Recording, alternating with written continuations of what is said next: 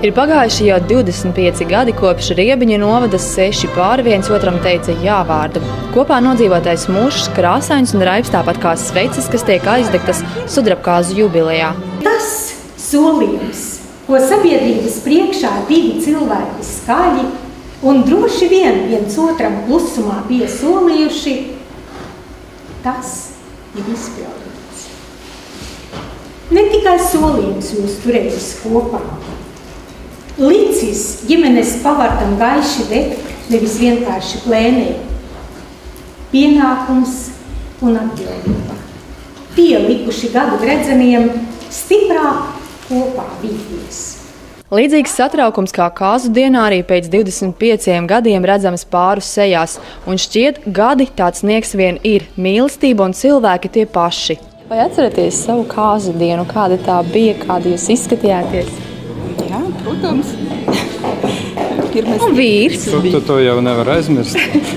Tas bija novembris mēnesis. Nu, pirmais sāls, pirmais sniedziņš. Eh, Sāls pārāk liels nebija kaut kur nu, līdz 10 gradiem. Nu, eh, diezgan jauka diena bez nokrišņiem. Īpaši saulaina nebija, nu, bet jauka. Šo 25 gadu laikā, kas ir tas tie paši skaistākie brīži, kas ir bijuši? Skaistākie brīži. Nu, kas? Protams, kā vienmēr, kā visiem, kas nodzīvē, tas ir mūsu bērnu eh, viņu pirmie soliņi, pirmie vārdiņi, pirmās dzimšanas dienās. Nu, protams, mūsu jubileja.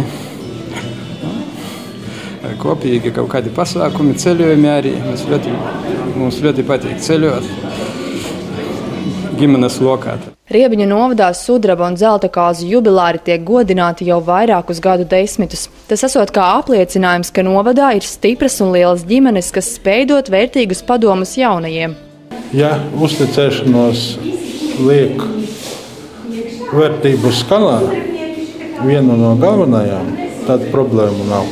Vai bija viegli spērt šo soli un izdomāt, ka ir tomēr jādzīvo kopā un jāprecās? Nu, tomēr mēs esam katoļi un ģimenē jau tas arī ieaudzināts bija, ka tur tāda vazāšanās jau nekāda nesanāk. Ja ņem, tad ņem uz visu laiku. Līdz ar to līdz šim brīdim esam kopā. Jautājot pāriem, vai jūtas vienam pret otru gadu gaitā nav mainījušās, viņi atzīst, ka tās kļuvušas vien stiprākas. kā tas cilvēks neizskatās 25 gados, tāds kā 50. Tā arī mīlestība ir cita kvalitāte vienkārši. Precamies mēs varbūt pišku vēl ir uz atšķiņām rozā brilles, bet eh, gadu gaitā tā mīlestība, nu, nu viņa kļūst savādāka, bet viņa ir.